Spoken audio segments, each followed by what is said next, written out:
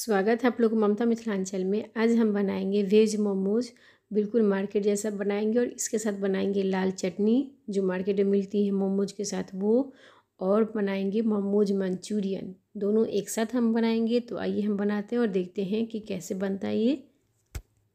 यहाँ पे हमने ले लिया है मैदा, इसमें हम डाल देंगे रिफ़ाइंड ऑयल मोइन के लिए। यहाँ पे मैंने तीन चम्मच जो है रिफ़ाइंड डाला है और नमक देंगे स्वाद अनुसार। और इसको अच्छे से हम मिक्स करेंगे। मिक्स करने के बाद इसको जो है नॉर्मल पानी से हम आटा लगा लेंगे। जैसे हम लोग रोटी के लिए आटा बनाते हैं, बिल्कुल वैसे ही हम इसको गूँध लेंगे। और ये हमारा देखिए आटा तैयार है तो मैं इसको ढक देती हूँ। इसको ढक के जो है पाँच मिनट के लिए छोड़ देंगे, तब तक हमारा चटनी के लिए जो है तैयारी कर लेते हैं। तो यहाँ पे हमने लिया है चार टमाटर, जिसको मैंने गैस पे रख दिया है गर्म पानी में, और इसमें डाल दिए सूखी लाल मिर्च, और इसको ढक देती हूँ।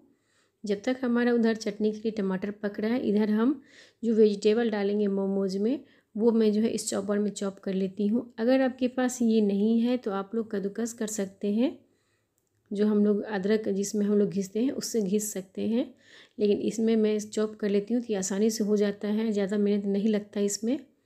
तो इसमें मैं इसको चॉप कर लेती हूँ। मुझे तो बहुत अच्छा लगता है, इसमें कुछ भी बनाने अगर रहता है वेजिटेबल चॉप करना तो मैं इसी में डाल के चॉप कर लेती हूँ।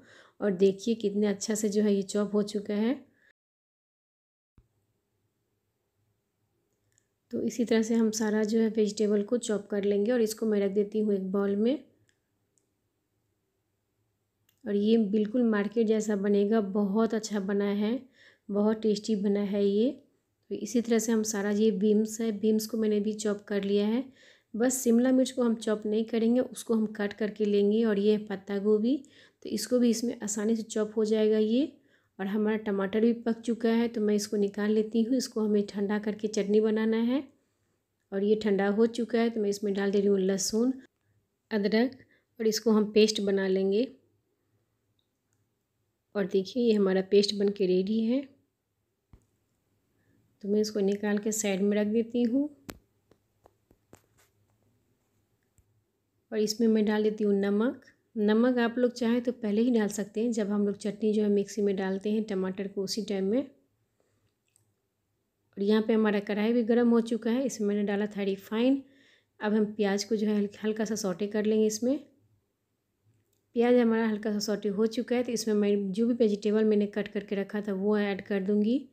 शिमला मिर्च को जो है मैंने पतला पतला चाकू से काटा हुआ था। लहसुन इसमें डाल देंगे खूब सारा और इसको अच्छे से मैं मिक्स कर दूँगी। गैस का जो फ्लेम है, बस तेज़ रखना है, लो नहीं रखना है, नहीं तो हमारा सब्ज़ी जो है पानी छोड़ देगा और वो अच्छे से मिक्स नहीं हो पाएगा। तो मैं जो हूँ, इस टाइम में गैस का फ्लेम तेज़ की थी। अभी मैं इसमें ऐड कर रही हूँ सोया सॉस। सोया सॉस देने के बाद भी हम एक मिनट के लिए इसको चलाएँगे। अभी मैं इसमें ऐड कर दूँगी ये स्प्रिंग अनियन। अभी इसमें ऐड कर दूँगी नमक। नमक देने टाइम में जो है गैस को बंद कर देना है, क्योंकि नमक देने के बाद हमारा सब्ज़ी में जो है पानी छोड़ देगा तो वो हमारा जब हम भरेंगे मोमोज़ के लिए, तब ये पानी रहेगा तो अच्छे से नहीं होगा।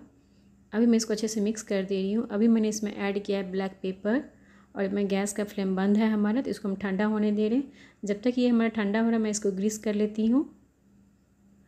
अगर आपके पास इडली वाला बर्तन है तो आप लोग उसमें भी बना सकते हैं।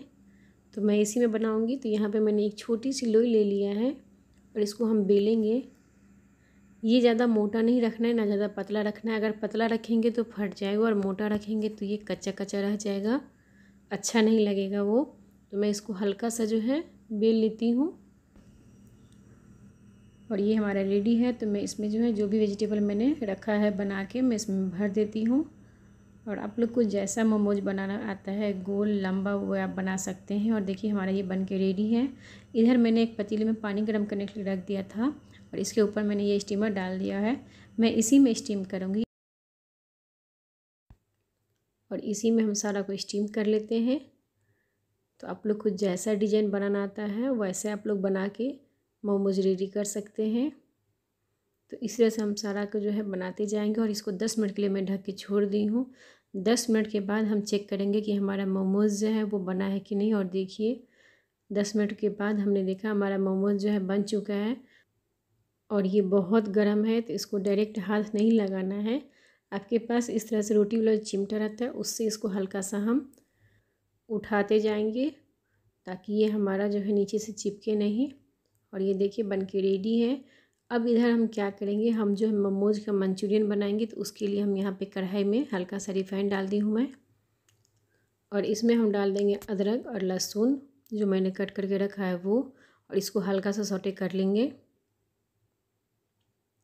ताकि इसका जो कच्चापन टेस्ट है वो थोड़ा सा हट जाए। उसके बाद इसमें हम डाल देंगे प्याज। यहाँ पे मैंने दो मीडियम साइज़ का जो प्याज लिया था, उसको भी हमने एकदम पतला पतला काट के रख लिया था तो वो इसमें मैं ऐड कर देती हूँ। और ये स्प्रिंग अनियन है तो उसको भी मैं थोड़ा सा इसमें डाल देती हूँ। इससे जो है इसका फ्लेवर और अच्छा हो जाता है। अगर नहीं है आप लोग के पास या नहीं मिल रहा है तो कोई दिक्कत नहीं है, ये बिना स्प्रिंग अनियन का भी बन जाएगा। और मैं इसमें ऐड कर दे रही हूँ नमक टेस्ट के अकॉर्डिंग नमक हमने जो है मसाला में भी दिया है, जो हम लोग वेजिटेबल को फ्राई किए थे उस टाइम में। और मैदा का आटा जो लगाए थे उसमें भी डाला था तो नमक आप लोग उसी हिसाब से डाल दें।